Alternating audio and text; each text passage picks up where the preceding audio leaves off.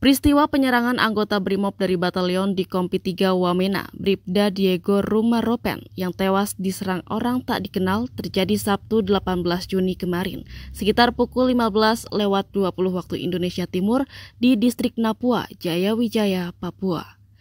Korban bersama Danki Brimob Batalion di Wamena AKP Rustam ditelepon oleh warga bernama Alex Matuan untuk membantunya menembak sapi miliknya di daerah Napua dengan membawa dua puncuk senjata api jenis sniper Steyr dan AK-101.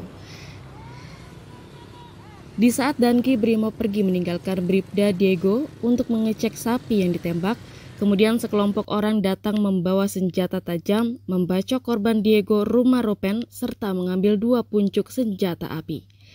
Kapolda Papua Irjen Polisi Matius De Fakhiri di Jayapura mengatakan pihaknya akan mengambil langkah tegas dan terukur untuk mengejar para pelaku dan menemukan dua pucuk senjata api yang dirampas.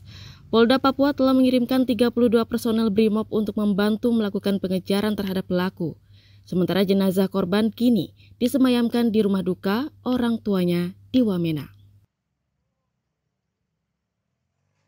Saya selaku Kapolda tentunya akan mengambil langkah-langkah tegas dengan kejadian ini. Nah, kami berharap evaluasi itu juga untuk kita mengingatkan semua jajaran dengan hilangnya uh, dua pucuk ini untuk tidak boleh terulang lagi di waktu-waktu yang akan datang. Saya tidak bisa mengatakan ke KB apa tadi, kan dari hasil penyelidikan akan kita simpulkan. Nanti akan disampaikan oleh Pak Dirkrimum. Ada indikasi ke sana, tetapi nanti setelah hasil pemeriksaan lengkap. Irjen Fahiri mengingatkan kepada personel kepolisian yang bertugas di bumi Cendrawasih agar kejadian ini tidak terulang dan harus menerapkan body system minimal sebanyak lima orang untuk kewaspadaan serta keamanan personel yang bertugas. Ia juga telah mengirimkan anggota Propam Polda Papua guna memeriksa anggota BRIMOB terkait meninggalnya Bribda Diego Rumarepen dan hilangnya dua pucuk senjata api organik Polri.